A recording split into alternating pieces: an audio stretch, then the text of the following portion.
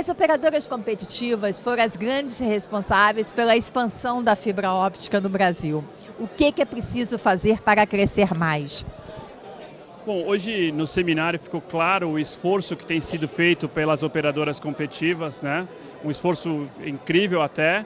E, quer dizer, a gente está falando de empresas que hoje somadas faturam 6, 7 bilhões de reais ano, né? É, e que a, apesar de de alguma forma não ter alguns incentivos que comumente teriam as grandes empresas, elas têm ganhado market share. É, acho que o papel hoje que é importante, tem um papel a ser desempenhado talvez pela Anatel, é ajudar todas essas operadoras no que se refere a temas que a agência tem um papel institucional a ser desempenhado aí e que ela é legítima nisso nas discussões de direito de passagem, né? porque é, tem crescido tudo isso apesar de dificuldade de implantar rede, porque as prefeituras não dão licenças, porque os postes estão super ocupados, porque pode custar até 40 mil reais por quilômetro por ano implantar uma rede de fibra ótica dentro de um, uma rodovia estadual, para citar um exemplo de São Paulo.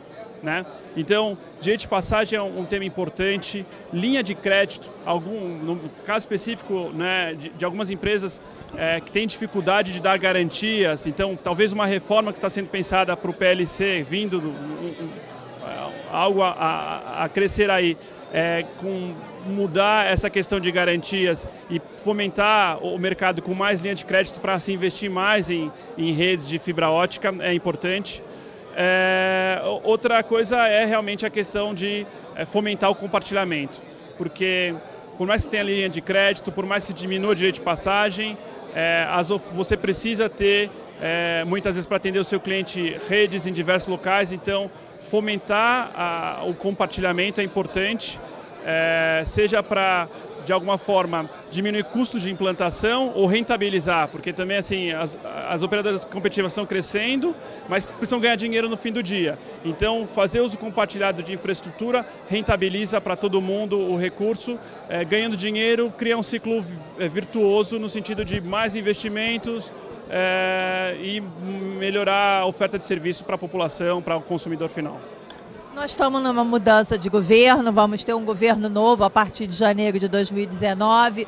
Se o senhor pudesse pedir algo como presidente da Telcomp ao responsável pela área de telecomunicações, que a gente ainda não sabe se vai ficar com o MCTIC, se vai para o Ministério da, da, da Economia, né, na parte de infraestrutura, qual seria o, o pedido prioritário da Telcomp a, a, essa, a esse novo ministro seria a questão de, te, de telecomunicações estar na agenda prioritária? Sim, sem dúvida. Né? Muitos falou que se é, telecom fomenta o desenvolvimento de outros setores, e o contrário é verdadeiro. Se telecom não desenvolve, para todo o setor. Então é mais do que olhar com carinho para o setor de telecom, mas é, dá, é a prioridade que precisa ser dada. Assim como foi feito 20 anos atrás com a LGT e que uh, o que foi feito é, se expandiu de serviço, é incrível, né? A gente é, tem, não tem nenhum outro setor que tem a, a centenas de milhões de clientes como tem Telecom.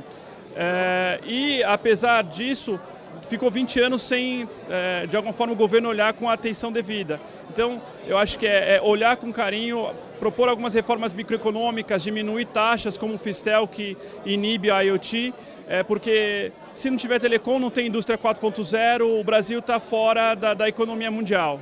Então, a cadeia produtiva hoje é toda entrelaçada, então você precisa de fato ter é, incentivos para que o Brasil faça parte do jogo né, e crescer, que é o que a gente quer tanto. Acho que vai nessa linha.